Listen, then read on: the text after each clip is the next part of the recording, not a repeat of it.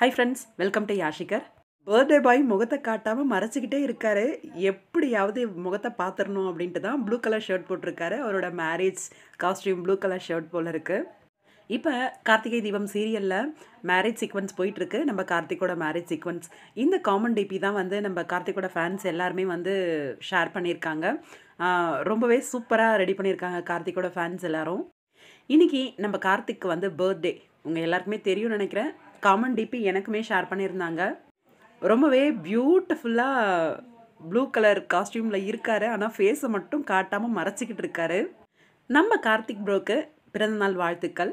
அது மட்டும் இல்லை இப்போ நீங்கள் பார்த்துட்டு இருக்கீங்க இல்லையா இந்த பர்சன் கார்த்திக் கூட நின்றுருக்க இந்த பர்சனால் சீரியலில் ஒரு பெரிய ட்விஸ்ட் வரப்போகுது அப்படிங்கிற மாதிரி சொல்கிறாங்க கார்த்திக்கோட மேரேஜ் நிற்க போகுது அப்படிங்கிற மாதிரி தெரியும். ஆனால் இவரால் ஒரு பெரிய ட்விஸ்ட் வரப்போகுது அப்படிங்கிற மாதிரி இந்த பிக் நீங்கள் பார்த்துட்டு இருக்க இந்த பிக்கை போஸ்ட் பண்ணி சொல்லியிருந்தாரு. ஹீரோயின் கூட நிற்கிற மாதிரியான பிக்கு ஹீரோயினுக்கு பார்த்துருக்க மாப்பிள்ளை இவர் தான் போல இருக்குது ஒருவேளை இந்த கல்யாணத்தை நிறுத்தி கார்த்திக் தான் வந்து ஹீரோயின் கழுத்தில் தாலி கட்டுவாரோ? அந்த மாதிரி ட்விஸ்ட் ஏதாவது வரப்போகுதா அப்படின்னு தெரியல. ரொம்ப பெரிய ட்விஸ்ட் வரப்போகுது அப்படிங்கிற ஒரு விஷயத்த மட்டும் சொல்லியிருக்காரு. என்னவா இருக்கும் அப்படின்னு கெஸ் பண்ணவே முடியலை.